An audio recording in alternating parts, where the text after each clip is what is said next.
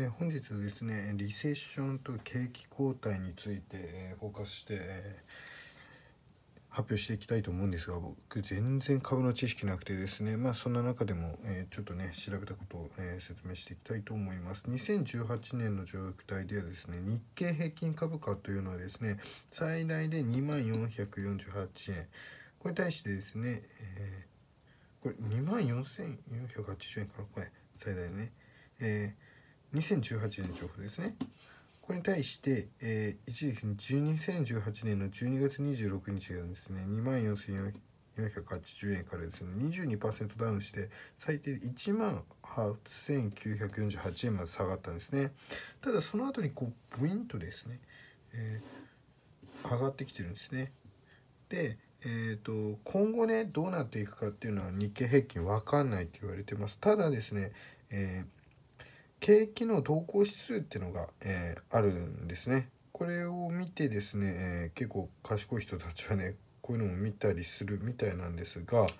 えー、まずですね景気の動向がどうなるかっていうのでまず遅れるのか、まあ、そのまま一致するのが先行するのかっていうね、え動向を見る、え3つのポイントがあると。で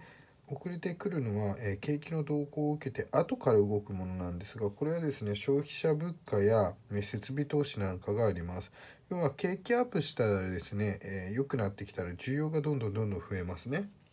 それで消費者の物価がどんどんどん上がっていったり設備投資もねどんどんどんどん、えーと、需要がある分ですね。どんどんどんどん、えー、都心部とかではどんどん上がっていくんでそういったものでですね、え後から来ると。えー、いったものがあります。で、えーと、現状現在の景気とほぼ一致するものがですねこの企業の販売額やあとは所定外労働あとはですね有,、えー、有効の求人倍率とかねこういったものが、えー、一致すると。でこれで先行ここがすごい重要でですねこの PMI っていうまあこれからどうなるかの流れですねモメンタムを予想する指標なんですがこれすごい重要なの PMI というですね、えー、指標があるみたいですね、えー、これがその英語なんですが、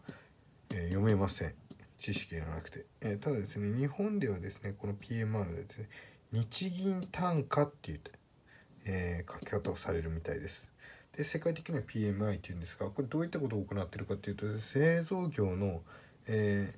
購買担当にアンケートを取ってですね、え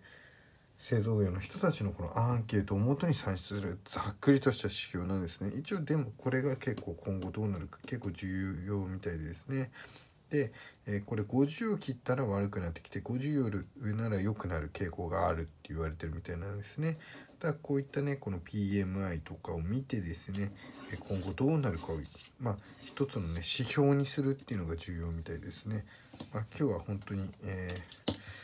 プロが見たらなんだっていう動画になってしまうんですが、えー、ここまでで終了させていただきたいと思います。えー、たまにねお金の情報もねこうやって、えアウトプットしていけたらと思います。気が向いたらチャンネル登録もしくはですねあのコメントいただければ、えそれについて勉強してアウトプットしていきたいと思いますので是非ともよろしくお願いします。